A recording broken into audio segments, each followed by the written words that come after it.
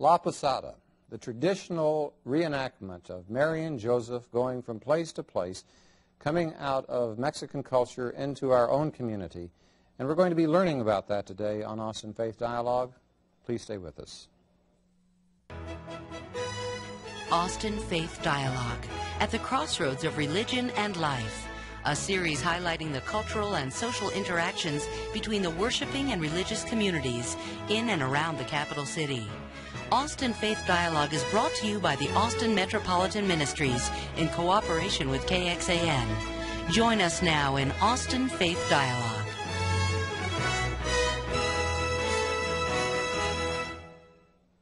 Hello, I'm Richard Thompson, brought to, bringing to you in behalf of Austin Area Interreligious Ministries this program today.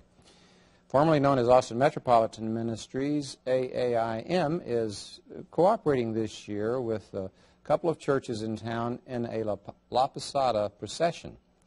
We're going to be learning about this traditional event as well as the work of the Community Mentoring Network, a part of the Austin Area Interreligious Ministries that works with young people mentors and mentees in a very creative program that has connected itself to this seasonal event.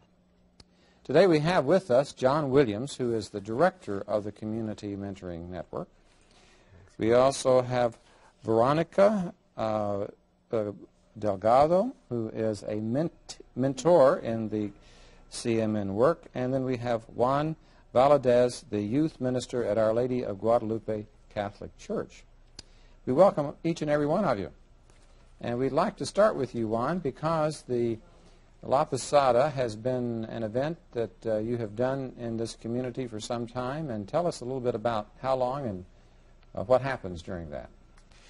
La Posada was started, uh, well, at our parish, uh, we've been doing it for at least 10 years. Uh, the reason I only know it's 10 years is because that's how long I've been at the parish. Mm-hmm. They might have done it in, in, before that, but I wasn't aware of it.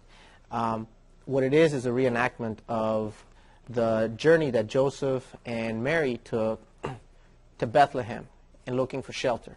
Okay. So what we do is we reenact that, and we have we choose two people from the community to play the role of Joseph and Mary. Okay. And what we do is we walk around the community and we stop. We make several stops, somewhere like 10 or 12 stops throughout the community, and we sing La Posada, basically La Posada, seeking shelter. So we reenact the whole journey of Joseph and Mary searching for shelter. And each stop they make, they say, is there shelter here? Is there shelter right. here? And there's two parts to each stop. There is the people from the outside who are basically the whole congregation, the community comes out, right. and we all sing to the to the the home or the innkeeper. Their role right. is we're seeking shelter. This is my wife, and she is with child. Can we come in? And their part is to tell us, no, we mm-hmm. don't have mm-hmm. anything here. This is not an inn. Go away. And we do this several stops. And in the previous years, what we've done is we the the last stop has always been Guadalupe Church and we sing there, and of course, everybody comes in, and you know everybody sings, and, and that's the last stop, and that's where Joseph and Mary are received mm-hmm. with open arms. Uh, in the last year, what we did is we incorporated Ebenezer Baptist Church and Metropolitan AME, which are a block and a half from Guadalupe Church, and we incorporated the two churches, and they took part in it.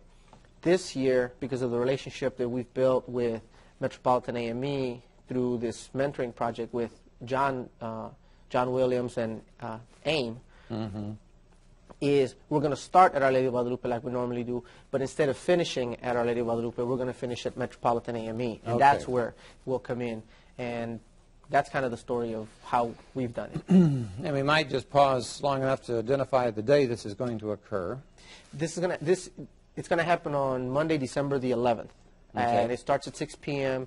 at Our Lady of Guadalupe Church in the new in the hall that we have uh, there on the grounds. Okay, so this this happens a day after this show airs, and folks who are interested in maybe seeing what it's like or participating, they can come from anywhere in the metropolitan area to. They can come part. from anywhere, and and they do. I mean, we average last year we we had close to a thousand people Oh, really? Uh, close to a thousand people show, and, and, usually that's what we have. It depends on the weather. One time we didn't have because it was very, very cold, but mm-hmm. usually we have a huge crowd, no less than five, six hundred people, and yeah, all people from all over Austin come. They show up at your place at 6 o'clock? Well, they- they show up a little bit earlier because at six is when we actually start the procession. But I see. you can just, you, if you get there a little late, you can always just follow the singing.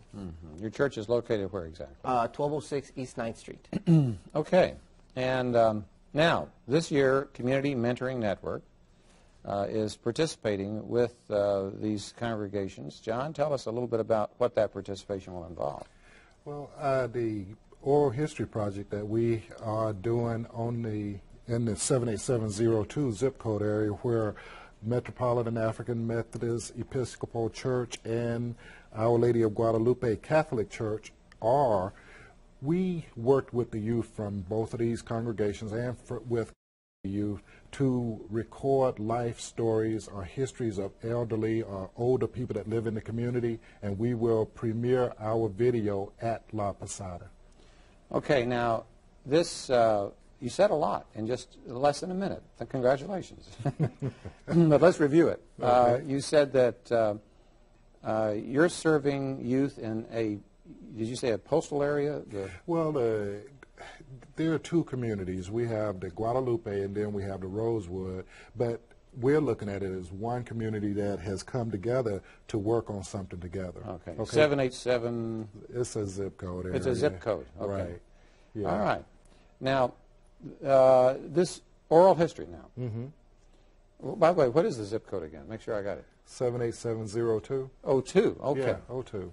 Good. Well, I'll I'll know. Uh, make sure next time I send a letter over to to get it right. And you've got the uh, the congregations with youth from both the Our Lady of Guadalupe and the Metropolitan uh, Methodist African uh, African Methodist Episcopal Church, and you are going to have have had already youth working on a video project. Right. And it's a continuous project. Right now, we have interviewed 20 older members of the community. And so we have a lot of video. And so the, the young people who are in the CMN program, Community Mentoring Network, are doing the interviewing of older folks. Right. Is that right? You, you shake your head, Veronica. You've been involved in this.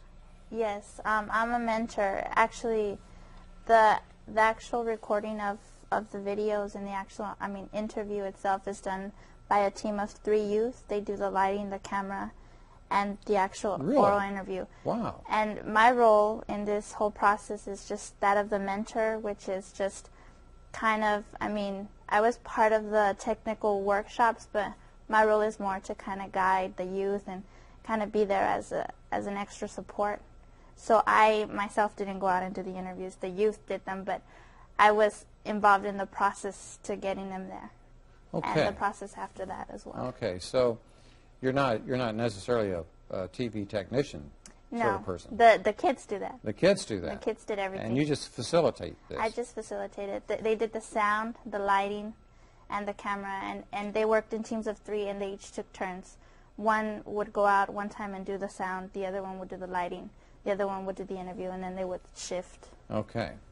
Now, in the second half of the show, um, after Juan has shared with us more about the La Posada itself, we're going to be welcoming your mentee, Fabiola Reyes. Right. And uh, we're, uh, she's in your church, though, right? Yes, she is. And, and Veronica's in your Yes, uh, But you're the youth director. I'm the youth director. So Veronica's not in your youth group. Veronica's not in my youth group. No, she's part of it though. Really? How so?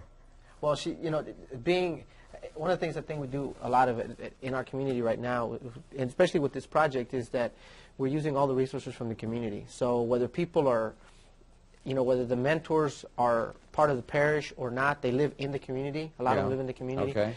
so they have that connection, and mm-hmm. and that's one of the things that that we have that's really kind of unique about this this program is we're all working out in the community with all the same youth. So there are people from the parish, there are people that are just live in the community that are, that have the connection through this through this program with Our Lady of Guadalupe or Metropolitan. Okay. Now, the people who are being interviewed, the older folks, are they from your parish, too?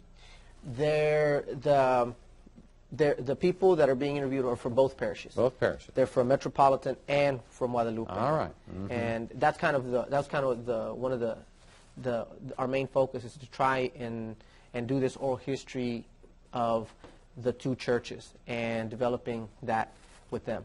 That's a wonderful way to get uh, connected to the media as well, to figure out how to do interviews and and uh, I, you're going to say something else about that, John. Well, I, the project will have a product. We have videos, but it was also an effort to teach the youth skills. You know, not only technical skills but life skills, Sure. because conversation is an art.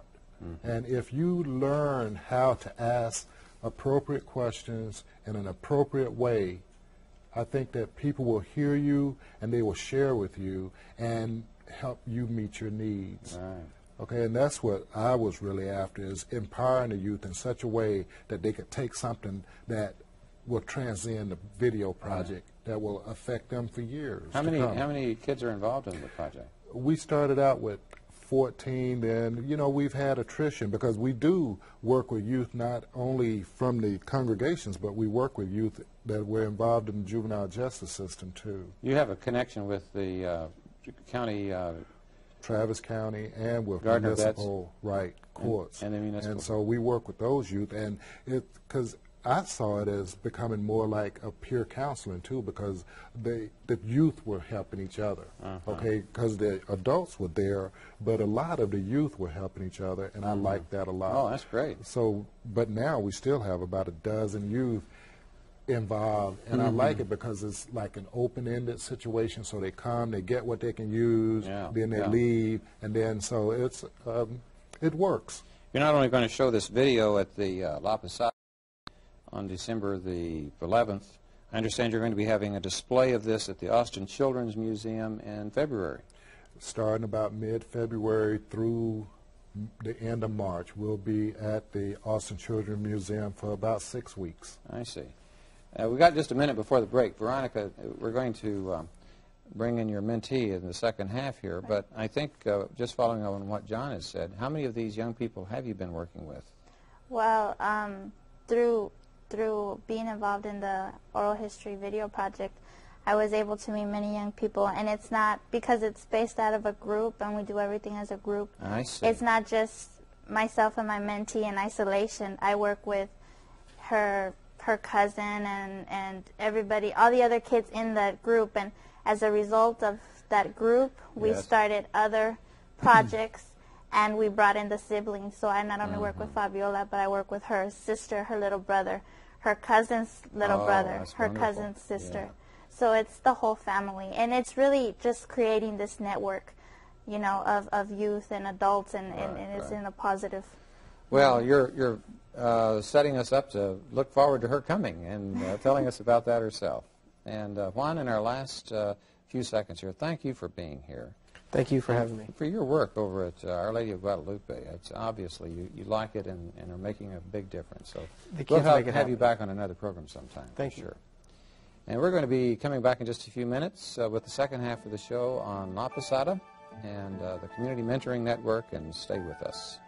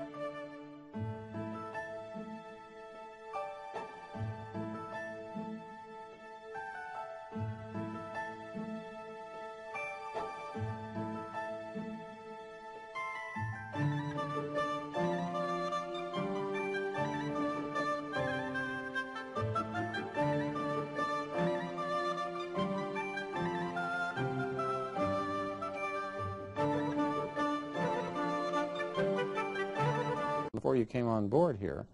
And uh, you, how long has it been that you've been a mentee with uh, Veronica? Like nine months. And uh, say like last March or so. Mhm. And during that time, were you involved in this video project she was talking about? Yeah, that's kind of like where I met her when we started the video project. Oh, you met her through that project. Yeah. Now, in doing that, what, what kind of uh, work did you do? I mean, were you on camera or do the interviews with these older folks, or what did you do? We took turns. Some like some of us would uh, ask the questions, and one of us would do sound, and the other one would do camera. You kind of rotate around doing that? Yes. I'm, I'm looking forward to seeing that video because I think uh, you have folks that have lived in that community for a long time, and this is a way of helping them remember what's happened so that people who haven't been there are there's there's no written history maybe of some of that. Is that the idea of it, John? Well, the oral history portion, yes, because there are a lot of real interesting stories about how did Our Lady of Guadalupe Church end up in the area? How did Metropolitan African Methodist Episcopal Church end up in the area? And they have some very interesting stories about how all of that took place because you have members in the church that are still alive to remember how they were located in the area. Oh, really? I mean, those churches haven't been there forever. No. You know when your church started there? It was like, I believe like 1926 or something. It was one? moved because of city replanning. That they moved it out of. It was actually located on Guadalupe Street, and when the city of Austin was expanding, they decided that Ah. you know they needed to move this traditionally Catholic Mexican American church somewhere else because it interfered with the development of, of the city. Oh, I see. So it was It was closer to down by the river, wasn't it? was On- On. Guadalupe Street, and Yes. Our Lady of Guadalupe then ties in with that. Right. You were going to add to that? Well, I was going to talk about one of their older members of their congregation uh, parish that talks about the move and how it was a smaller, because it's much larger than it was then, but how they moved the church brick by brick from where it is now to its current location, that and right? that they expanded from around the original structure, and they have a icon, a, a dead Jesus that they talk about. Brother Mario talks about that a lot. Crucifix. Right. Yeah. And so, and I, when I hear the story and I've seen the video, I can imagine the amount of feelings that the whole procession, because we're talking about La Posada now and the procession that will happen. Yes. But this was a different one. It was more like an exodus from one area to another. Well, you know, one of the things, too, that uh, I think is uh, really touching about the, the connection that you're making between your congregation and that of the, uh, of the Metropolitan African American, African uh, Methodist Episcopal Church, uh, AME, is that that part of the city, the eastern part of the city, has, for some folks, has been, you know, that the uh, African Americans are on one side of, what, 11th or 12th Street, and the Hispanic community is on the other side. And this, it looks to me like you're trying to, to bring together uh, populations that have been sometimes not in as close a communication. Is, is, did you see that as part of the reason? Yes, and also to to um, erase a lot of the the the mis the perceptions of the East Side as a whole. Uh-huh. I mean, yes, the community was divided, but it wasn't divided as as bad as you know people make it out to be. And the East Side is really not that violent. Just different stereotypes that have been created and perpetuated, you know, about the East Side, and and through working together and through doing these um, these projects and actually coming on air and talking about them, that really erases a lot of the stereotypes that have I been see. built about the East Side and that community. So really, we're not only empowering ourselves with our own oral history, but we're also breaking down those stereotypes and, and creating a new perception, a, a more realistic perception of what our community is about. Mhm. And maybe not only a perception of it, but the experience of a unity. Right. Uh, Fabiola, you were um, you were also uh, involved in uh, as a mentee. I mean, that's I think of mentor mentee as like school relationship. Has Veronica been helpful to you in relation to your schoolwork? Yeah, she helps me with my homework. Do I- that- how, how does she do that? well, we have our tutoring on Mondays and Wednesdays, and I go and she helps me with my homework. Mm-hmm. And uh, this is like after school or in the evening? How, how, when does that happen? It's in the evening, like from six to eight. I see. Monday and Wednesday. Right. That's quite a bit. And this is actually um, one of the opportunities that I get to work with Fabiola's older sister and her younger brother as well, which are currently not part of the video project, but because I work with Fabiola and I met her through this process, you know, I've been able to work with her family as well. And her cousin, Cindy Mondragon, which is also a participant of the project, mm-hmm. her brother and her little sister come to the tutoring as well. So Oh my gosh, it's really several members of the family there then. through through this project, we really just engaged youth, and, and we came down to a real core group of youth and, and mentors. Mm-hmm. And through those partnerships, we're developing new programs that help our youth I see. continue. So it goes beyond just the video project. Mm-hmm. They initiated a study session or the tutoring that is currently going on right now because they felt that that you know they really wanted to focus on school and they really wanted to pass this first semester of school. And they came to us for help. They said, "Well, can you help us do Who's this?" they? the the the participant well Fabiola and Cindy and their brothers and their sisters and all the other kids that we met through the video project but along with Ah, their families and So one of, thing kind of led to another. some of their friends it kind of snowballed into this big thing Yeah. but it, it was a good thing because it's it's really I think we began to build a real sense of community and like safety net because Right. the, the relationship is so strong That's great. because it's done on a group level like Cindy's mentor doesn't have to be there for her to feel comfortable to be around me Sure. Mm-hmm. even though I'm not her mentor but I really am because it's Uh-huh. a group effort Uh, Fabiola has, has working with Veronica helped your grades. Can you tell a difference in, you know, how you're doing in school? Yes. I mean, in what way can you tell the difference? Uh, they're higher. They're higher. if they went lower, it'd be a little discouraging, wouldn't it? but uh, and and the, the fact is that um, you you met through the video project. You're doing the mentor mentee thing. Is there anything else that you all do together, the two of you? We go out to eat and we go like to the union. To the Inside- union? the underground. University of Texas. Oh, at the University of Texas. No kidding. You go over there for recreation and just just have they have a bowling alley over there, don't they? yeah Have you done that? Yes. Ah. Well, we actually showed them around campus too, because I myself am a student, so we just walk around campus. We've gone to a couple of student organizational meetings, and um, through through the connections with other students that I have at UT, they've been able to meet some other UT students that have been brought into our tutoring program as well. So we're making connections with the university, with university students. You're a student at the university yourself, Yes, an undergraduate, yes. and you're doing this as a volunteer. Basically. I mean, it's part of. I work.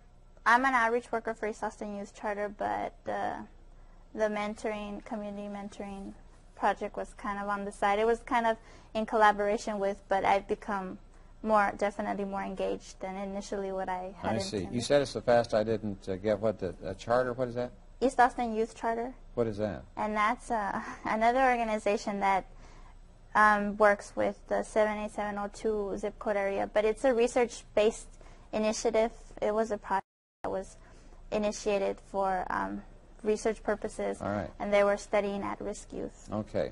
Before we get too far away from La Posada, I'd like to make sure we got on the screen that uh, information about the event, which is, we said December the 11th at uh, 6 o'clock. We don't have it. Okay. Well, we'll just uh, keep saying it before the show is over so folks will know that uh, it's coming up soon. I'd like to add something real quick. Okay. I, I, I'm really so amazed. I've been working with Fabiola and the other participants for nine months, but you have really seen a transformation in these youth. I mean, Ah. they went from being very camera shy to "Oh, she's going to be on TV, and that's that's a Yeah. that's a giant leap for That's you know a youth that has not been exposed to that, as well as myself. I mean, I had never been that exposed to cameras and Right. interviewing people, and, And it does a lot for to people's self-esteem, I think, to be uh, involved in this. By the way, we're getting, well, we've got uh, several minutes here. I, I, did you want to add to that? I, I got another question. Well. I, I would like to talk about relationship building, which I think that the Community Mentoring Network does a lot because we emphasize the importance of each other. Okay, because the mentor isn't there to like pour knowledge into an empty vessel to youth. Mm-hmm. Okay, they share their realities and how they experience their lives. And they learn not only about each other but they learn about life in general. And i think that's a good thing. And then it spreads out. And you heard veronica talking about the ripple effect about how more, more people are being brought into mm-hmm. community. Yeah. okay we're bringing in more projects and whatnot so we'll be able to involve other people. Okay. Well, I think that we've several times touched on that. There, there's a network and interconnection. One thing leads to another kind of process. It's very creative and, and healing, I think. Now, one thing, though, in the last minute or so we've got, I know that the Community Mentoring Network is part of the Austin area Interreligious Ministries. John, in the paper, I think it was the Monday, November the 27th paper, there was an article about uh, AAIM that uh, you want to say something about that. Well, Interreligious Ministries does do good work in the community, but it does cost money. We do need what I, and this infrastructure, okay, but we do a lot of good programming, but unless we have basic stuff like housing for us, we're looking for housing, okay, because we go out and we have to pay housing, rent, utilities, whatnot. We do need support. Okay, and then it's through AAIM that you've got the uh, hands-on housing, you've got a refugee settlement program, as well as what you're doing. And we have programs too, but these are some of our major programs to address homelessness, you know, to address the youth issues, you know, Right. in our community. Well, that article in the paper, it was indicating that there is a grant from the, uh, of the Seton uh, Foundation that was going to be ending at the end of the year, and that, that after the first year was a good time to make that uh, contribution. And by the way, it's an essential time for us to say goodbye. I want to first of all say, John Williams, thanks for being back again. Veronica and Fabiano, thank you for being here. And may you all have a blessed Christmas. And may you two folks, as you look in today and next week on Austin Faith Dialogue, be blessed in this uh, holiday season. I'm Richard Thompson, and peace be with you.